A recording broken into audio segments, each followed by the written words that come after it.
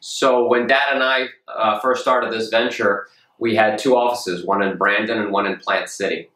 And today, I'm proud to say that we now have seven locations that range from across the bay in St. Petersburg all the way out to Winter Haven, Florida. We have offices in Riverview, two in Brandon, uh, Tampa, and of course still uh, Plant City.